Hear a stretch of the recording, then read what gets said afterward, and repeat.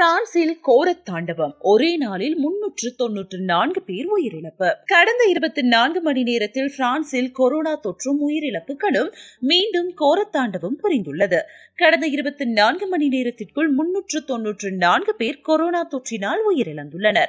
இதனால் மொத்த கொரோனா உயிரிழப்புகள் முப்பத்தி எட்டாயிரத்து அறுநூற்று எழுபத்து நான்கினை தாண்டியுள்ளது.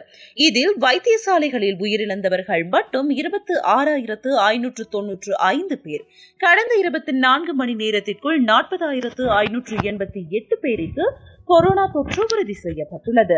வைத்தியசாலைகளில் இருபத்தி ஏழாயிரத்து ஐநூற்று பதினோரு கொரோனா தொற்று நோயாளிகள் அனுமதிக்கப்பட்டுள்ளனர்.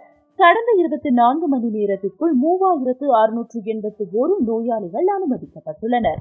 இதில் நாலாயிரத்து எண்பது நோயாளிகள் உயிராபத்தான நிலையில் தீவிர சிகிச்சை பிரிவில் அனுமதிக்கப்பட்டுள்ளனர்.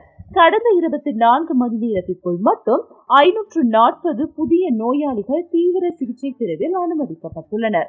மேலதிக அறைகள் ஒதுக்கப்பட்டதுடன் பிரான்சில் அதியுச்சமாக ஆறாயிரத்து நானூறு நோயாளிகள் மட்டுமே தீவிர சிகிச்சை பிரிவில் அனுமதிக்க முடியும் என்பது குறிப்பிடத்தக்கது.